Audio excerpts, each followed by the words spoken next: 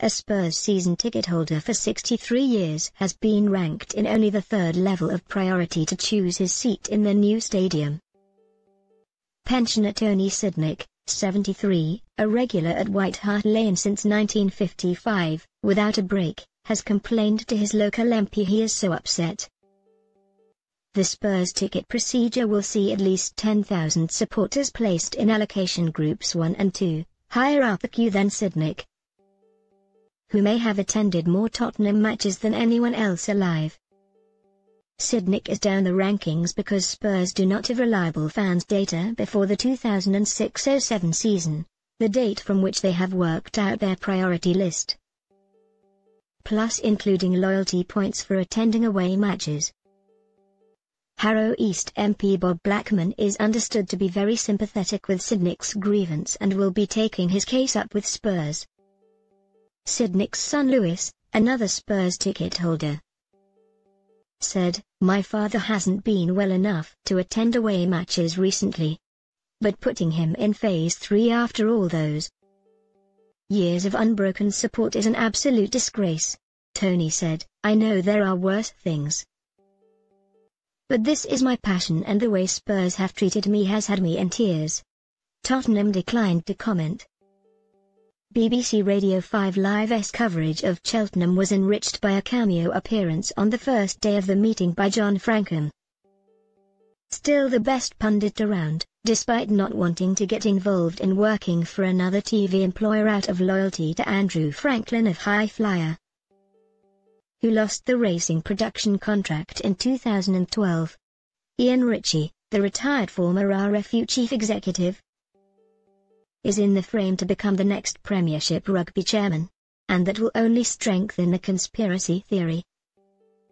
Despite the denials that Ritchie left Twickenham for the same alleged reason he previously departed the All England club. Not enjoying working under demanding hands-on chairmen in Phil Brook and Andy Cosslett respectively. Having been used to little or no interference from on high. Certainly Ritchie, who was at the Wasps v Exeter game courting both clubs' chairman. Intends being a chairman himself in future, not a CEO. Troubled Premier League club West Ham, whose last home match featured an ugly fans protest and pitch invasions. At least have the support of shirt sponsors Betway. The online gambling company said they are committed to the Hammers for a further two years despite the flood of negative publicity this season. Certain sports sponsorships stay in the public psyche long after the association ends.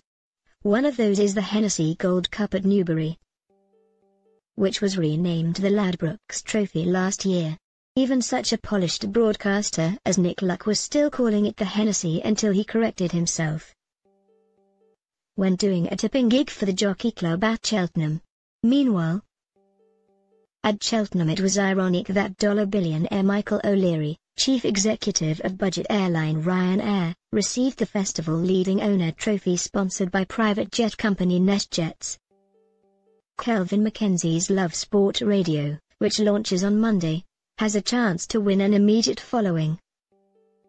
Especially with the number of listeners who have deserted TalkSport in recent months. So why?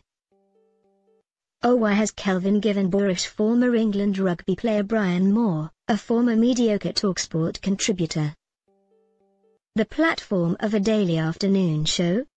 Bryan Swanson, chief reporter of Sky Sports News, is one senior sports news figure who will not be traveling to the World Cup in Russia, rather than a political protest.